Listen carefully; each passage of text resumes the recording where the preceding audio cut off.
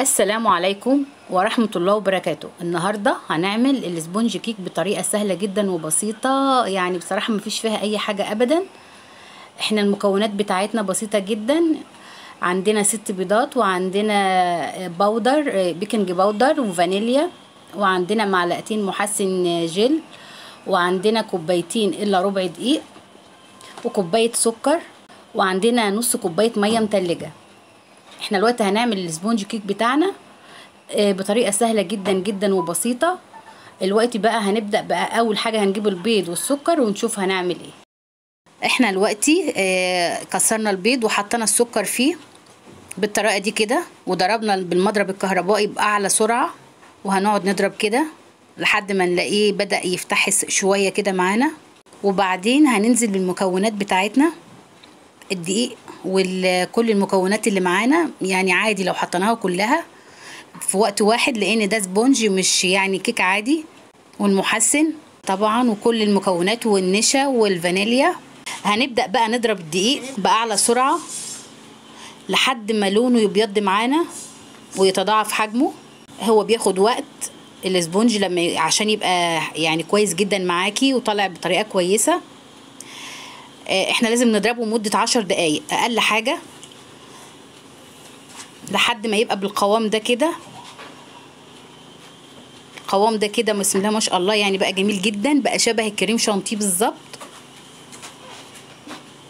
وبقى متماسك.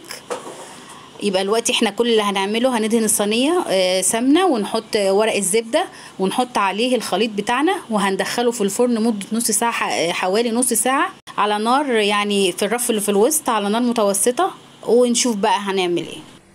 وبعد نص ساعة الاسبونج بتاعنا خرج من الفرن بالطريقة دي كده هش جدا ومرتفع وجميل جدا جدا زي اللي بيتباع ويمكن كمان أحسن. بصراحة جميل جدا جدا. كريم شانتيه بتاعنا اهوت جميل جدا ومتماسك. بسم الله ما شاء الله جميل جدا جدا. إحنا عاملينه حطينا بالظبط كوبايتين كوبايتين كريم شانتيه عليهم كوبايتين مية متلجة ونص كوباية سكر. ده المقدار بتاعنا. جميل جدا جدا وسهل جدا أهوت. دلوقتي إحنا هناخد الاسبونج بتاعنا.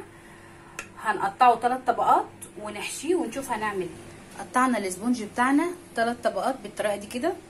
دلوقتي هناخدهم معانا ونشوف هنعمل إيه وهنزين بقى التورتة ونخليها شكلها جميل. عندنا نص كوباية لبن هنسقي بيها كده.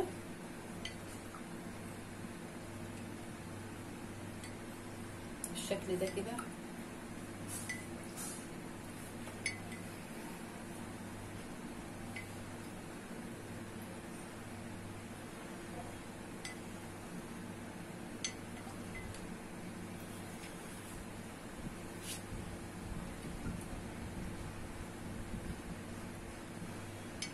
علشان تبقى معانا طرية وما تنشفش مننا ابدا. لازم نسقيها بالشكل ده كده. مهما تقعد معاكي عمرها ما تنشف منك نهائي. طول ما انت بتسقيها بالشكل ده. هنحط الكريم الشانتيه بتاعنا في كيس الحلواني وهنبدأ بقى نشتغل كده. عشان نمكن الكمية اللي إحنا هنحطها نحطها بالطريقة دي كده. بشكل عشوائي كده.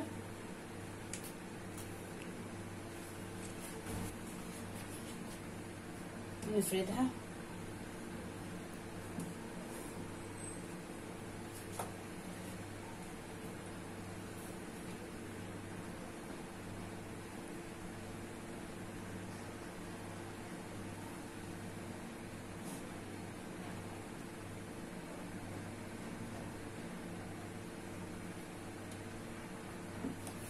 هنغلفها كلها بالكريمة بالطريقة دي كده وهنحط من الجنب مكسرات بالشكل ده كده كده مكسرات مبشورة طبعا. وعندنا جوز مبشور نحطه على وشها بالطريقة دي كده.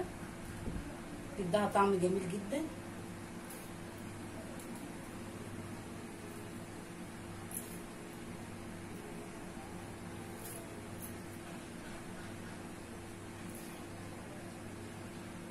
بالشكل ده. وهنبدأ نزينها.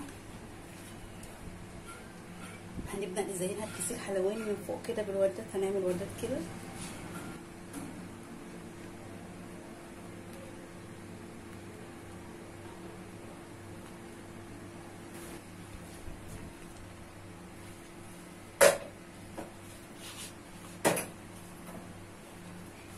وهنحط كريس على الوردات بتاعتنا.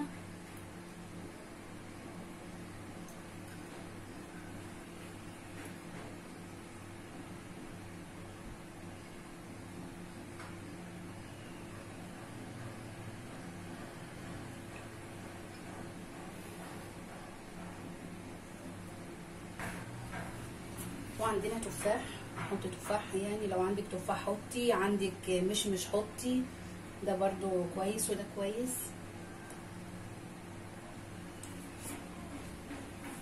نحط شوكولاتة برضو. ده جميلة.